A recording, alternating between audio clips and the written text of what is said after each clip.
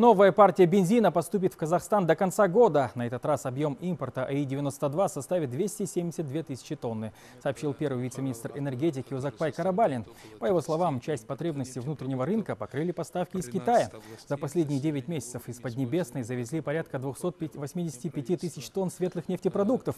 Вице-министр также отметил, что сегодня усилен контроль в приграничных регионах с Россией и другими сопредельными странами. Это делается для того, чтобы пресечь незаконный вывоз топлива из республики. В целом, ситуация на рынке ГСМ постепенно стабилизируется.